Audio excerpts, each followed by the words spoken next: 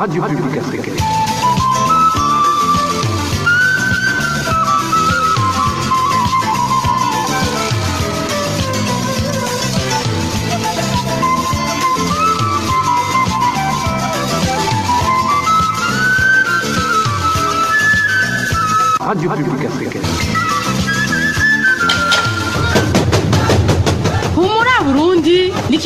Ciyemeje guhuza abarundi bahungiye hanze y'igihugu c'amavukiro hamwe n'abasigaye mu gihugu. Biciye mu makuru atohojwe neza yerekeye ibisata byose by'ubuzima bw'igihugu.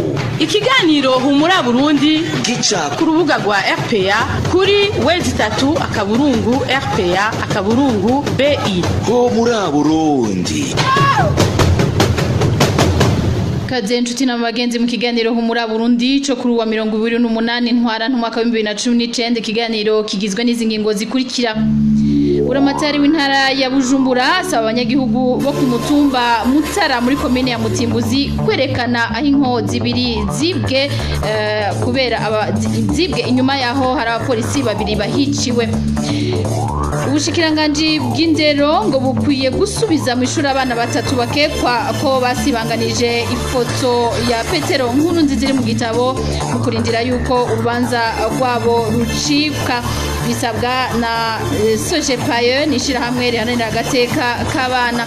Abapolisi bari kumwe n'abasungusungu bazindutse mu ikambi ya Nduta basambura bongera basanzaza ibidandazwa biri mu isoko nkuru muri iryo kambi.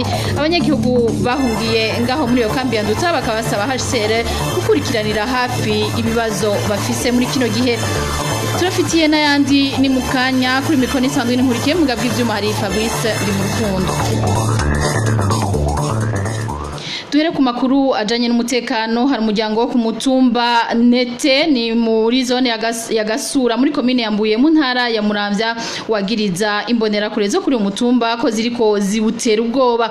Umuryango ngo buri kuzira ivyiyumviro vya politike nk'uko tugira tuvyumvirize muri iyi nkuru ya Vicky Chris Ninteretse uwo muryango uvuga kuri kuratega ubwoba. Ni uwitwa Sabukugirira Damien wo ku mutumba nete zone gasura komine mbuye. Nk'uko isoko rya RPA muri izo mbonera kure aho kuri uwo mutumba zabitwiganiye hari kuri uyu w'Imana heze igihe cy'isaha umunani z'ijoro aho hakorana inama ku rugo rw'imbonera kure yitwa Maria iryo soko rikavuga ko yari inama yo kwiga ukuntu bogirira nabi uwo muryango. Aho iryo soko riratubwira imbonera kure zari muri iyo nama. Hari inama yabaye ku munsi wa mungu itariki mirongo ibiri na zine z'ukwa gatatu ibihumbi bibiri na cumi n'icyenda. Hanyuma iyo nama yari irimo imbonerakure zitandukanye. Iyo nama yabereye ku witwa mariya ahantu mu kabande. Abari bayirimo ni nyandwi aroni minani egide atwara imbonerakure kuri uwo mutumba. Ndabemeye tomasi aherutse kuva no mu munyororo. Harimo n'umukuru w'umutumba nyene niyo nzima alexi hari harimo n'uwitwa filipo samuweli ezekiyeli n'imbonerakure bita ruceke n'uwo mariya nyene nyene umuhana.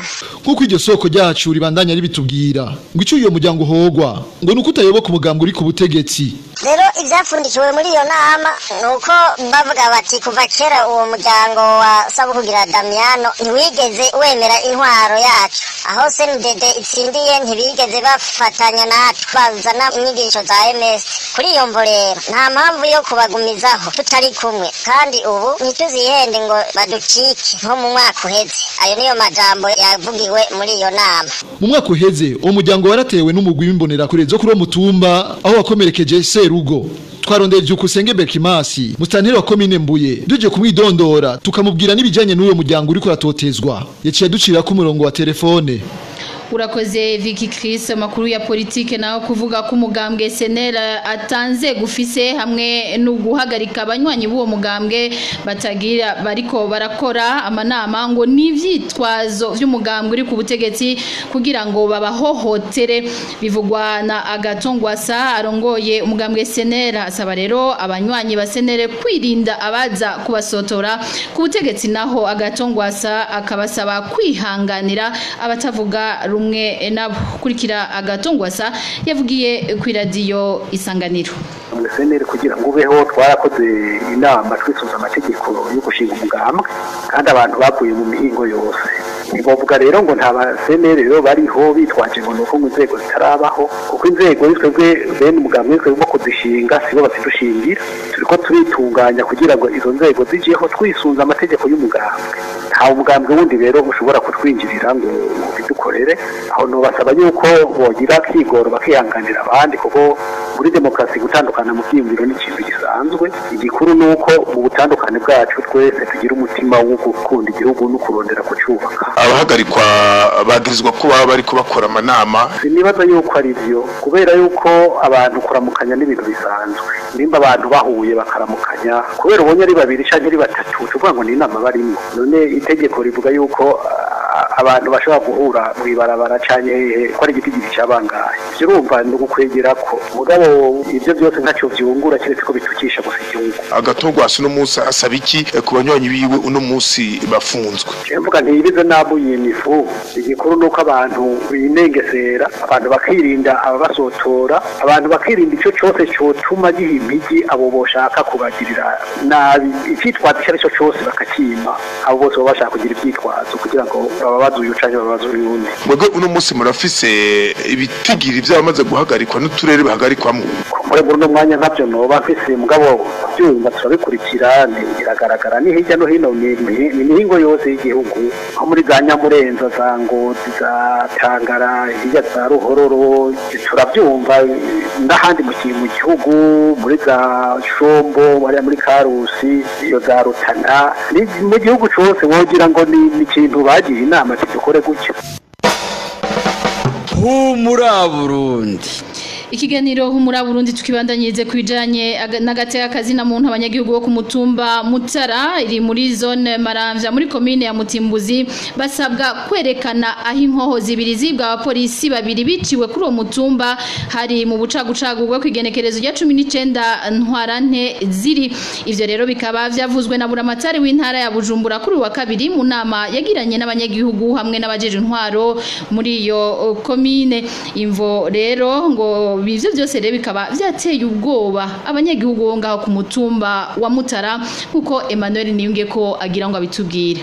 Mu nama yagirishijwe na Nadine Gacuti buramatari w'intara ya Bujumbura. Inyuma y'umutaga wo kuwa kabiri uheze ku banyagihugu n'abajejwe intwaro muri zone Maramvya uwo mutegetsi yamenyesheje abanyagihugu bo ku mutumba Mutara ko hagiye kuba umukwabu w'urutavanako uwo nawo nk'uko bamwe mu bari bitavye iyo nama babivuga ngo bugamije kurondera inkoho zibiri zo mu bwoko bwa Kalashnikov zibwe abapolisi babiri. Ni nyuma yaho biciwe kuri uyo mutumba mu bucagucagu bw'igenekerezo rya 19 ntwarante. Uyu ari mu bitavye iyo nama. Avuga ko imvugo ya buramatari yabateye ubwoba. Abanyagihugu bo ku mutumba wa mutara muri zone maramvya komine mutimbuzi turateye umutima uhagaze n'amajambo buramatari w'intara bujumbura.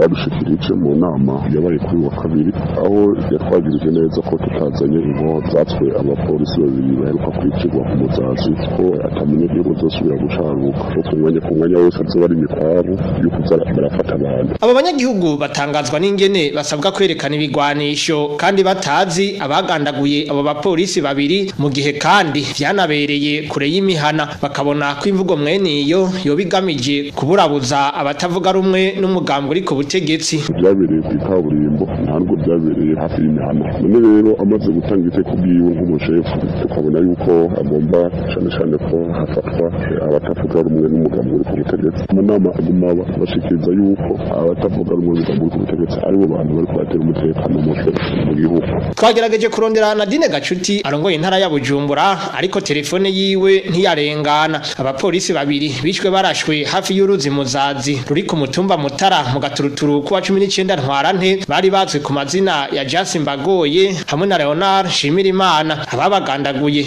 gushika ubu bakaba bataramenyekana. Urakoze Emmanuel. Abanyororo bari mu mahwero atandukanye na cane cane imbohe za politike bafise ingorane zitandukanye harimwo kwezwa icaha ntibare kugwe guheza umunyororo baciriwe bakaguma mu mvuto hamwe no kuburabuzwa mu mburano. Ivyo bikaba biri mu cegeranyo cishirahamwe akate twasomewe na mugenzi wacu Bonfils Niyongere. Muri iryo tangazo ishirahamwe akate Burundi ryerekana ingene ibintu vyifashe mu gisata c'ubutungane mu Burundi. Na cane cane ku bapfungwa ba politiki. Iryo shirahamwe riharanira hagati y'akazina muntu rihagarara cane cane kuko ngene amadosiye y'abo bapfungwa atigera atera imbere. Inyifato bavuga ko iteye kubiri n'ibwirizwa shingiro rya Repubulika y'u Burundi ryo kuwandwi iruheshi umwaka wa 2018 ingingo ya 38 y'iryo bwirizwa shingiro nyene nk'uko akate Burundi bivuga ivuga ko umuntu wese afise uburenganzira haba mu vy'ubutungane canke mu vy'intwaro kandi akumvizwa adakandamijwe akongera agacibwa urubanza mu mwanya wemewe n'amategeko. Akate Burundi. Ikabona ko imanza z'abafungwa bagize ivyaha bifitaniye isano n'ivya politike zifise uguteba gucibwa birenze urugero. Ivyo bikaba biri mu matohoza iryo shiramwe ryakoze mu mabohero ane ariyo mpimba gitega muramvya na rumonge aho berekanye ko ayo mabohero arimwo abantu barenga mirongo ine n'umwe bejejwe abarenga ijana n'icenda bahawe ikigongwe n'umukuru w'igihugu n'abarenga mirongo itanu na babiri bahejeje ibihano baciriwe ariko bose batarigera barekurwa iryo shirahamwe riravuga kandi ko abanyororo barenga mirongo itandatu bamaze hafi imyaka itatu bapfunzwe umunyororo w'agateganyo ku bwa kati Burundi abandi banyororo barunguruje imanza zabo haraheze imyaka itatu ariko izo manza zikaba zitarigera zihamagagwa na sentare iyungururizo. Inyifato iteye kubiri n'igitabo kigenga imanza z'ivyaha zitohozwa zikongera zikaburanishwa mu ngingo y'amajana abiri na mirongo irindwi na gatandatu ivuga ko urubanza muri sentare y'iyungururizo sentare ifise iminsi cumi n'itanu gusa yo kwiga urwo rubanza igahamagaza ababuranyi kuva irushikirijwe iryo shirahamwe risaba amakungu kugumiza ijisho ku Burundi mu gihe imaze kugaragara neza ko leta ya Petero Nkurunziza imaze kwerekana ko ivyo kubahiriza agati y'akazina muntu tutavuze ivyo agati y'akabanyororo yamaze kuba sindabibazwa urakoze nawe bonfise niyongere muri ico gisata nyene hari umugwi w'abarundikazi bagera kuri mirongo ibiri na batanu baraye bakuwe mu vyaha vy'abashaka kubadandaza. Abo banyagihugu bakaba bafatiwe mu gihugu ca Kenya. Ibinyamakuru vyo muri ico gihugu rero bikaba bimenyesha ko abo bantu bari bamaze iminsi bacumbikiwe mu miryango yabo bakora urwo rudandazwa abo nabo bakaba bari bafise ngo migambi yo kubatwara kubagurisha mu gihugu ca Aziya nk'uko tugira tuvyiganirwe na Rachel Kagisi umuto afise imyaka mirongo ibiri n'ine umukuru akagira imyaka mirongo itatu n'itatu. Abo n'abarundi kazi bangana mirongo ibiri na batanu baraye bafatiwe mu gihugu ca Kenya. Ikinyamakuru Capital News cyasohotse kuri uyu wa kane candika ko abo barundi kazi bakuwe mu minwe y'abakora urudandaza rw'abantu n'igisata c'igipolisi kijejwe kurwanya ubukozi bw'ikibi ku rwego mpuzamakungu. Abo barundi kazi bari bugaraniwe mu muhana uri mu karere ka Gwakayiru muri district ya Juja mu ntara ya Kiambu abagore batatu bakekwa kuba aribo bakuye abo barundi kazi mu gihugu iwabo baratawe muri yomi. Bakaba barindiriye gucishwa imbere y'ubutungane. Ikinyamakuru Capital News kivuga ko abo barundi kazi bari bacumbikiwe aho muri Kenya mu kurindira ko baja kudandazwa mu bihugu vya Aziya kubw'icyo kinyamakuru ngo baraheza bagakoreshwa nk'abaja mu bikorwa vyo mu nzu. Tubibutse ko mu kwezi kwa kane mu mwaka uheze mu gihugu ca Kenya nyene hari hafatiwe abandi bagore 29 b'abarundi kazi nabo nyene bari bajanywe mu bihugu vya Aziya. Urakoze Rachel Kagisi abarundi rero bakaba bajanwa kugurishwa mu bihugu vya Aziya nk'uko Rachel ahejeje kubitubwira.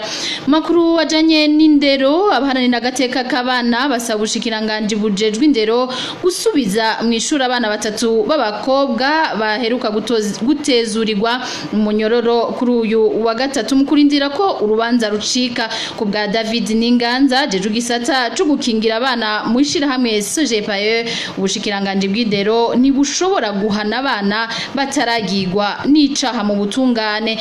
Arashima rero kandi n'ingingo yarayifashwe n'ubutungane kugira abo bana batatu mu ntara ya Kirundo bashobore kurekugwa David Ninganza. Tumwe twabyakiriye neza cyane. Nta muntu atokwakira neza abana barekuwe kandi basubiye mu miryango yabo. Twe turanezerewe cyane. Icyo n'ikimenyamenya cy'uko ubutungane buhari kandi ubutungane bwakoreye neza abo bana ababyeyi na twese.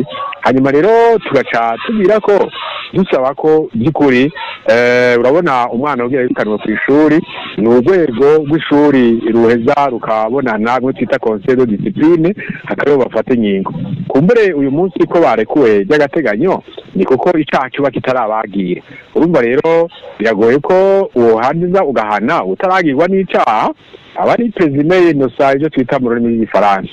Rero by'ukuri twoca tugira ko dusaba ko ubushikiranganji bw'ubutungane bwateye iteka bwateye iteka abo bana bukabarekura.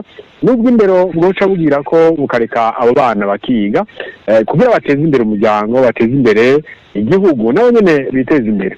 Twebwe rero twabyakiriye neza byaratunezereye kuko bimwe mu byo twasaba ni kimwe rero mu byatunezereye ubushikiranganji bwahejeje gukora bujejwe ubutungane cyane cyane nyakubahwa procureur general kirakuru gatera dongozi David Ninganza wo mwishirahamwe Sojepai mujanye n'ubutungane ubushikiranganje bw'ubutungane umushikiranganje w'ubutungane ubwiwe ngo ntiyarakwiye kwidogera abacamanza bagibuturire vyonyene ngo yari kubwiriza umushikiriza manza mukuru wa Republika nawe agategeka umushikirangiriza manza afise uburenganzira bwo gukurikirana abo bantu akabahagarika. Vyashikirijwe n'umushingwa manza Dieudonné Bashire ishize nyuma ya umushikiranganje Aimé Laurentine Kanyana ashikirije imbere y'abacamanza ba sentare isubiramwo imanza ya ntangwa bakorera i Bujumbura kwazi abacamanza bagiye biturire kurikirana Maître Dieudonné Bashayishize. Ikintu umuntu yohera ko nuko intwaro iri ubu idashobora kurwanya igiturire kuko yo nyene yaje iva muri ico giturire nyene. Ngira muribuka yuko itariki ibiri n'imwe z'ukwa gatatu ibihumbi bibiri na cumi na kane inama nshingamateka imaze kuhakana ihindurwa ry'ibwirizwa nshingiro ryari rigamije kurondera ikiringo ca gatatu. Nkuru nziza yaciye akoresha abacamanza.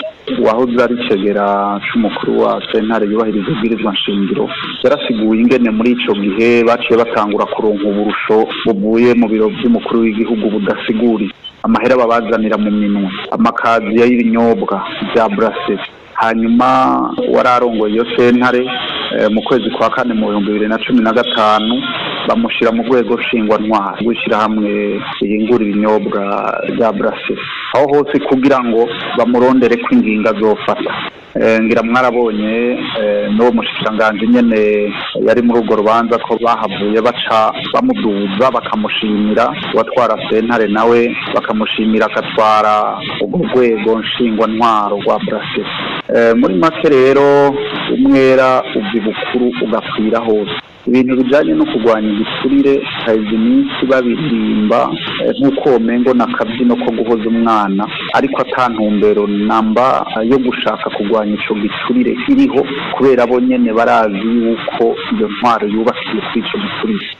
Ku busanzwe rero mu gihe habaye ivyo bintu bijanye n'ibiturire umushishanganji ntaza kubyidoga mu nama araheza akabwira umushikirizamanza mukuru wa repubulika hanyuma agategeka umushikirizamanza afite uburenganzira bwo gukurikirana abo bantu bakabafata ikiriho gusa ni uko ubu bamera nk'abarementaniriza kumbura abacamanza babona badakoresha uko bagomba.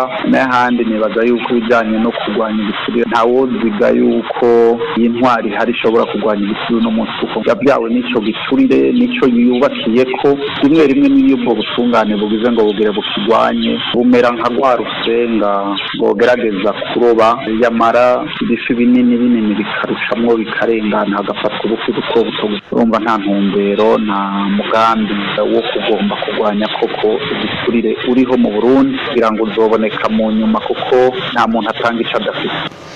Umushingwamanza Dieudonné bashirahishize. Humura burundi. Mu makuru y'impunzi dukubitire mu gihugu ca Tanzania. Imisi itanu iheze umwe mu barundi bahungiye mu ikambi ya Nduta abuzwa irengero. Mu gihe atari uwa mbere afashwe n'abantu bambaye umwambaro w'igipolisi ca Tanzania. Mu nyuma akaburwa irengero.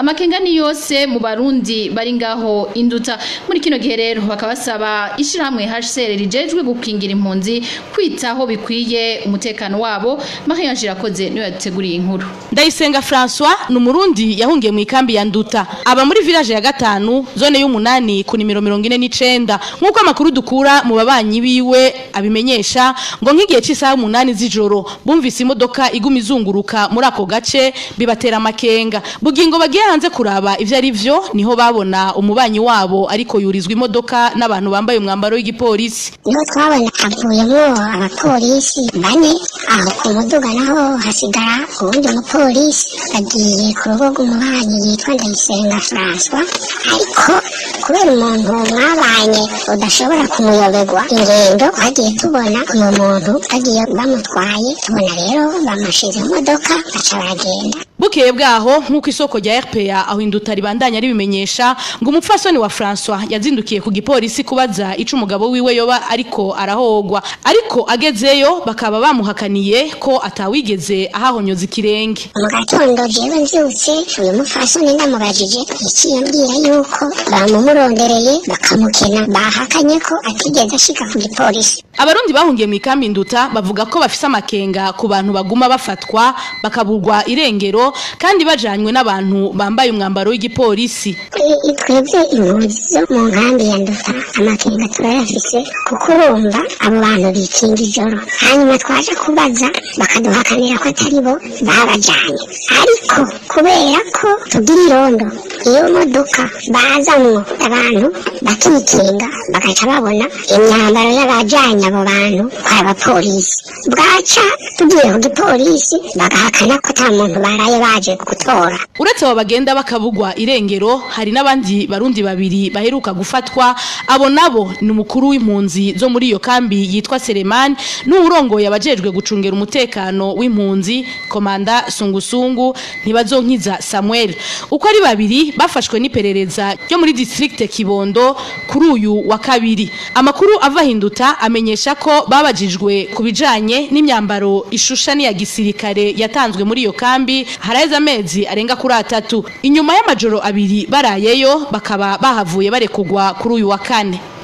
Urakoze Marie-Ange tugume ngaho mu ikambi yandutsaho kuri uyu wa kane. Igipolisi kiri kumwe n'abasungusungu bazindutse babomora isoko nkuru yo muri iyo kambi yandutsa impunzi. Zikaba zashwiragijwe bidandazwa vyabo navyo birasamburwa izo mpunzi rero zikaba zifise amakenga inkuru ya Baritazar Miburu hari nk'igihe cy'isaha zitanu mu masaha yo muri Tanzania igihe urongoye ikambi yose ya nduta yagomorera abapolisi n'abasungusungu mu isoko nkuru yo muri iyo kambi. Muri iryo soko risanzwe ryubatswe muri zone ya gatanu village ya kane nta nzu yitwa ko idandarizamwo inyama indya canye inzoga yasigaye ihagaze. Umukuru arongoye inkambi ari we mukuru w'amakazi yaca aza agaca abwira abasungusungu arondere ibibando bifise inguvu kugira ngo baje kugira ntibaje kubomagura inzu.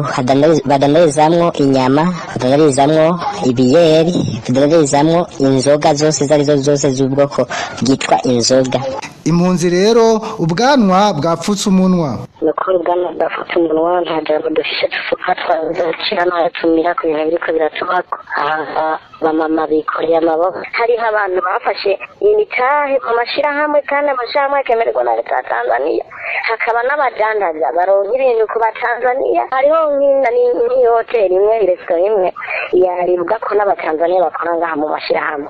Hari iyo masaha baje kubomorera ni ho abatanzaniya bari bageze kuza kurya bahejeje guteka ku munsi akoresha hafi y'ibihumbi mirongo ibiri na bitanu by'inyama. Cyangwa yumvira nk'inyama ubu ntiyarakize iteka yateka inkoko zose yabaze hagati y'inkoko cumi n'inkoko nka cumi na zitanu ibyo zose ni ubuhombe yagize kandi yari umuntu w'umumama asanzwe yifitiye n'ubumuga. Yakorera kurondera ngaho nyene. N'uwo mumama kugera iyi saha abo barundi bari mu ikambi ya nduta bambaza amakungu n'akarere kwishikira kuraba ayo ziboneye i Tanzania. Tukiyumvira kimene yuwe niyo yaduhembye. Cyangwa ni kubera yuwe ibikikorana n'abatanzania imwe abatanzania ariyo mpamvu atakiri kiravuga twe tugashaka twaraoni n'ibi bihugu by'aka karere. Cyane cyane aba bashinga amateka bitwa ngo baraduserukira muri afurika community. Bagira urugendo rwo kutugendera bari amaboko tugurenga ubu rero aho mu ikambi impunzi zirutugwitugwi zibaza ikizokurikira aho bukera. Urakoze Baltazar Miburo ndabutse ko mushobora kudukurikirana ikibiraraho kuri Facebook kuri RPA ijwi ry'abanyagihugu. Tubandanize kino kiganiro mu kigabane ako hambere aho kugira ngo umuziki w'Uburundi muri kino gihe usubire kugira akanovera nka kera ngo baririmbyi bakwiye kwicara hamwe bagasubira guhinyanyura amajambo bashira muri izo ndirimbo imbere yuko indirimbo ija ku isoko. Ikiganiro mwagishikirijwe mwagiteguriwe kandi mugira mugishikirizwe na Innocent Valentin Singira nkabo.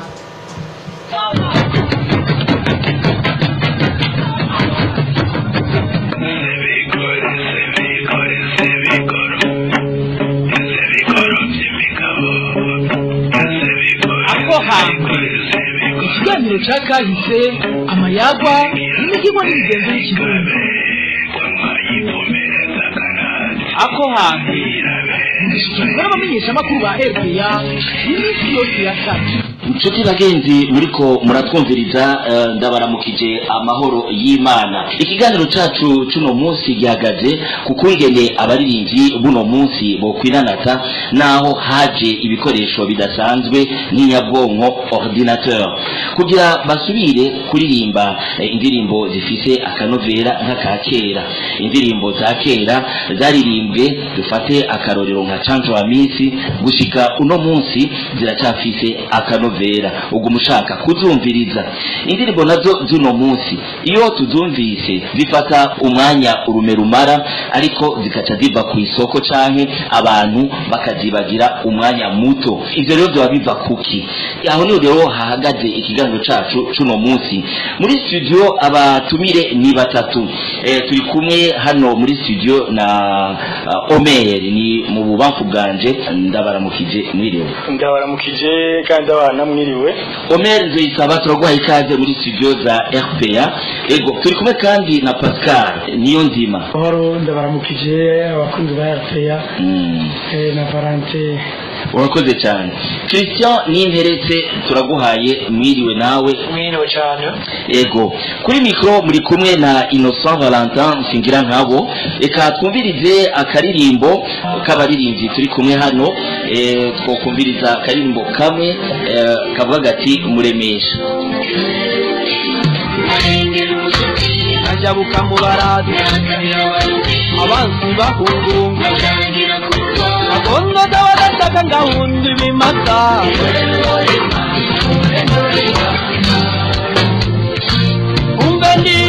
akaririmbo muri ko murumviriza kavuga gati muremesha akaririmbo k'umugwi intatana reka rero eh, tugire ko nk'umujyi w'igitahira ikiganiro ni ako hambere. Ikibazo ca mbere reka tukibaze eh, omeri eh, mwebwe mumaze igihe kitari gito nk'uko twabivuze mu muziki w'uburundi mutubwire ubwa mbere na mbere. Mbega birashoboka ko akanovera kariho kera mu muziki w'uburundi mu myaka igihumbi kimwe n'amajana icenda na mirongo umunani. Ako kanovera tuzi kera kujya abacanju wa misi tutumva indirimbo zabo tukazikunda ukumva yuko ikunyengetereye mbega ako kanovera kogaruka uno munsi birashoboka murakoze cyane. Eh, ako kanovera kogaruka mugabo hari ibibanje gukorwa kogaruka hari ibibanje gukorwa kuko muri iki gihe hariho ivyo ugwaruka rwataye. Eh, bituma ako kanovera katakihari. Muga rero kugira kagaruke hari ivyo banza gukorwa nibihe ivyo bibihe. Mu bisanzwe eh, ivyo igituma umuziki w'iyi myaka ya mu- mirongo ibya y'igihumbi kimwe amajana icyenda na mirongo umunani ku- kuduga eh, igituma wari ukomeye ni uko eh, waririmbwa n'abarundi baririmba ikirundi nyaco kandi eh, abo ba- abo barundi eh, ba- ba- bakora imico n'akaranga bari abantu eh, bize umuziki. Ba- bari bazi kuvuza umuziki bari bazi ku- kuwuhingura neza. Ubu rero ikibazo dufise ugwaruka rw'ubu dufise ikibazo cy'uko iki- twarataye ikirundi cyacu twarataye imizi yacu ari naho duku- ari naryo soko dukuramwo ivyo twandika canke ivyo tuvuga. Ururimbo narwo rukaba rugizwe n'amajambo meza eh, aba yashizwe muri bimwe twita melody. Rero ubu rero ikibazo dufise ugwaruka bw'ubu rwaratanye n'akaranga kago kagize igihugu cy'u Burundi. Ari na cyo gituma ubona eh, muri iki gihe tudafise indirimbo zihinguwe neza mu majambo meza kubera yuko ugwaruka bw'ubu rwatanye n'ikirundi rwatanye n'imizi y'ikirundi. Ubwo rero ni cyo gituma eh, unye wumva umuziki wo mu myaka mirongo umunani tudashobora kurunka ubu mu bihumbi bibiri na cumi n'icyenda. Aho rero uravuze ati biragoye ariko birashoboka. Ego birashoboka cyane. Ego ah, christian interetse nawe nuko nyine ubyumva? Nibaza yuko jewe eh, ndi mu bantu bakunda guhura n'abaririmbyi cyane bashaka gusohora indirimbo. Hama ikintu maze kubona eh, mpereye ku barundi ni uko eh, umuntu iyo ashaka gukora indirimbo nibaza ko byose bivana intumbero ashaka gushikako. Ashobora gusohora indirimbo ashaka ko ari indirimbo iryoha kandi izokwama imeze neza. Muri icyo gihe umuntu arayicarira akayifatira umwanya. Hari undi nawe ashobora gusohora indirimbo ari ukubera amenyekane. Ni ukuvuga yuko atigera yitaho kwicara ngo aryohore indirimbo aryohore amajambo kandi nibaza yuko mirongo umunani ku ijana y'abaririmbyi b'ubu bose bakora gutyo. Ni na cyo gituma rero icyo kibazo babajije gikunda kuba ukumva indirimbo imara akanya gatoya hama hamara guca igihe ugasanga abantu bayirambiwe. Kuko ntushobora kunsigura ingene yuko uri kuraririmba indirimbo ya canje wa minsi nta cica n'irungu turacayikunda twese. Mugabo abandi bakoze muri studio nziza zihinyanyuye ukumva yuko bakoze akaririmbo kamaze umugani wawe akanya urume rumara ni ukuvuga ko hari agahazi nibaza rero ko byose bivana intumbero nyine ururirimbo ashaka kwiha. Niyo aba ashaka yuko ashaka kumenyekana hari igihe atita ku majambo cyangwa atita ku- nkinyanyiro y'iyo ndirimbo akayisohora kugira ayisohore birangire. Mugabo umuririmbyi w'ukuri abona yuko message ashaka gutanga izomara imyaka myinshi cyangwa izokwamaho ategereza kwicara. Naho yomara umwaka wose ariko arategura iyo ndirimbo mugabo amaze kuyisohora bati ndasohora ikintu kizima. Neza ko ingorane ari iyo rero. Uvuze uti ategerezwa kwicara. Eh, aho rero tuba twumva yuko harimo ikintu c'umwanya. Ego eh, pascal nawe watubwira uko nawe ubyumva. Mbega uko ako kanovera kari ga- kari gahagaze hehe? Ni mu ndirimbo canke wari umudiho kwari ukuvuza ni ni ni giki abuno munsi bokora? Eh murakoze. Jewe rero mbo sinja kuja kure ya yabo yabaje kuvuga ariko ndagaruka gato kuku kukuntu buriya umuziki ntutandukanye n'ukuntu igihugu kiba gitunganije.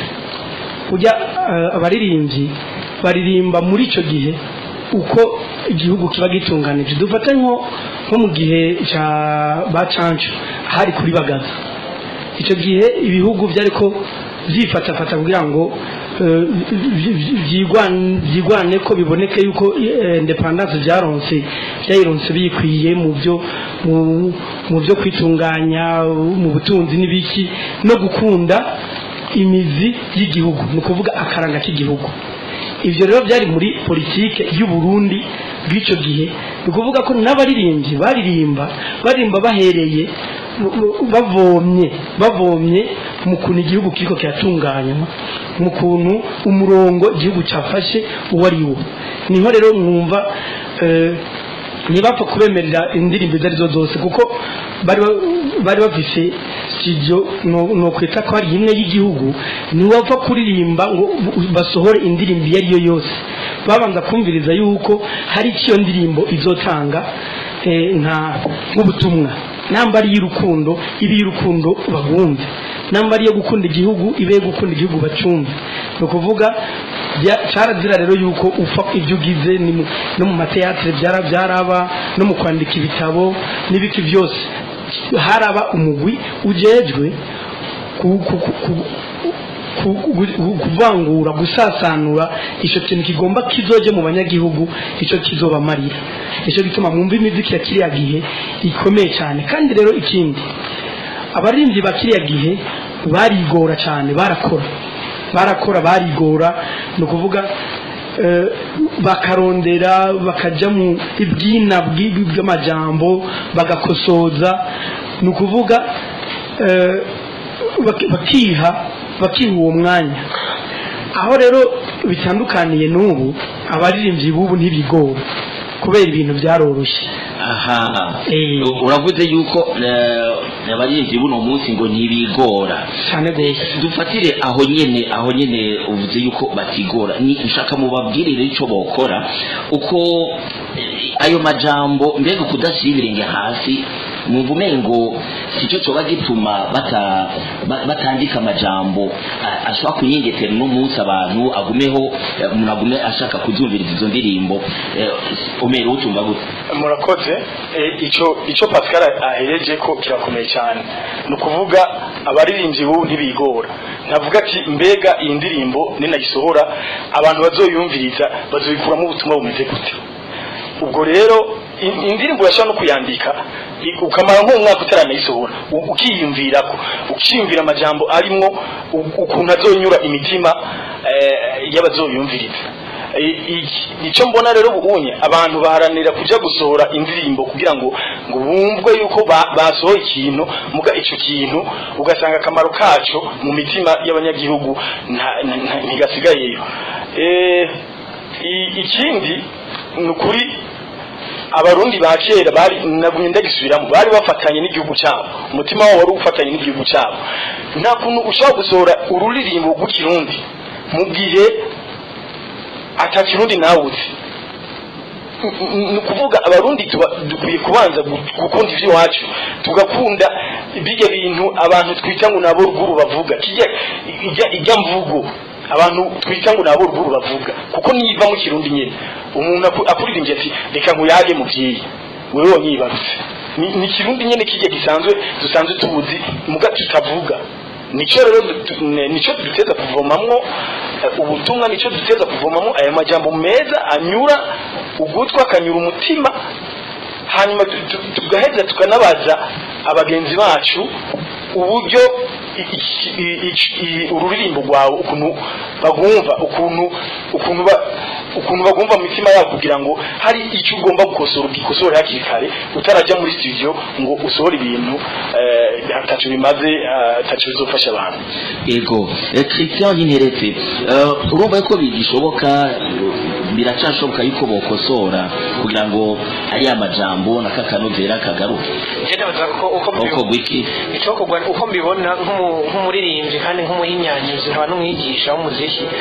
Nibaza yuko ho- hotanguzwa amasomero yo kwigisha abantu kuko nibaza yuko turavye hanze mu bihugu byo hanze igituma batera imbere mu muziki yabo novuga yuko ikintu cyose kiribwa.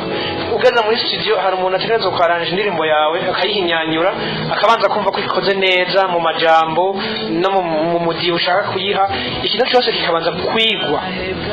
Donc nibaza yuko rero aho tugeze ubu ikintu cyose twogiha umwanya indirimbo kugira isohoke umuntu akavuga ati iyi ndirimbo tubona yosohoka canke yosohoka canke ikwiye guhinyanyurwa gutya na gutya. Hakaba abantu bajejwe bazi umuziki kuko twese ntituzi umuziki. Hari aba- hari abawuzi n'abatawuzi nico gituma benshi usanga bibananira kubera bataba bazi umuziki. Abazi rero umuziki bufasha abatazi umuziki hanyuma tugakorera hamwe tugaza gufashanya kugira twebwe ako karanga kacu k'i Burundi umuziki w'u Burundi utere imbere dukorere hamwe tugafashanya tukigishanya. Ego. Eh, tumere eh, nk'abarangiza ikiganiro cacu eh, akajambo ka nyuma eh, pascal icokogwa ikintu cya mbere ni uko ugwaruka rwobanza rukareka guhahamira kuba abasare. N'ingoga na n'ingoga byoroshye rwose kubera babonye umusare wa hariya bagaca bashaka gusimba intambwe nyinshi kugira ngo bamushyikire babe nkawe ni ukubanza ko urwaruka ruje eh, hamwe bige nk'uko bihejeje ahejeje kubivuga abantu babanze biga umuziki abantu babanze biga amajambo habe habe ni cyo twakwita ibiganiro. Nk- nk'ibi bi- cyane nk'ibi mwebwe eh, abajournaliste byo kwibutsa abantu eh, akaranga kabo n'akanovera kari mu majambo y'ikirundi. Nuko. Urakoze cyane ome nawe ijambo ni rwawe. Ego murakoze. Eh, igikwiye gukorwa ndaki- ndakiroresha kugwaruka hamwe n'abavyeyi. Ugwaruka ni ruhurumbire kumenya ururimi rw'ikirundi. Abavyeyi nibiteho kwigisha abana ibigize imico n'akaranga by'u Burundi kuko du- du- dusa turabona umenga abana ugwaruka gwarutse ubunye ni nka- ni nk'abana batawe mu barabara mu bijyanye n'imico n'akaranga. Ntibafise umuntu haba mu bavyeyi cyangwa na leta ntitubona uruhara rw'abo bantu. Bari bariko baragira kugira ngo urwo ruve hasi rufise ikintu gikomeye rufise mu mutima. Kuko murabona yuko ama- amajambere n'iterambere vyaje gukuraho bijya bintu byose vyogira umutima w'ikirundi mu muntu. Ivyo rero bigaca bifatana nuko abavyeyi batagifise umwanya wo kwita abana bikwiye kugira ngo babigishe uko umurundi ateza kuba ameze uko ateza kuvuga ijambo n'ukuntu ateza guserura icyumviro ciwe. Aho ni ibintu biza birapfira rero. Ego murakoze cyane tuti bagenzi ko muratwumvirizanye hano ikiganiro ako hambere kigarukiye. Eh, ndabashimiye abatumire ako hambere mwako mugishikirizwa na Innocent Valentin. Singira nkabo eh, mugire umugoroba mwiza nakagaruka uca ku kivi seruko ntakoheke namba. Ingabirire ngeye isindiyo urukundo cyari ikiganiro ako hambere imigenzo amayagwa n'imihigo y'abo hambere tubiragabanya ako hambere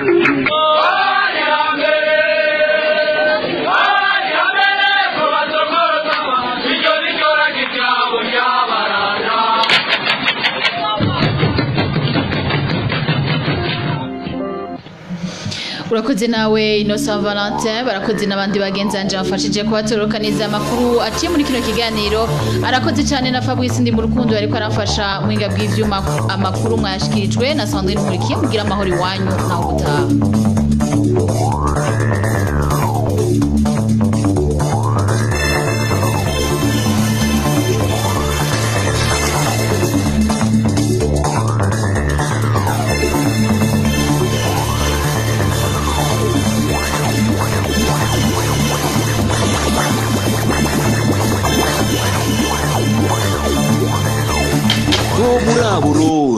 Ikiganiro gihuza abarundi bahunze igihugu c'amavukiro n'abasigaye hagati mu gihugu biciye mu kubashikiriza amakuru atosoye.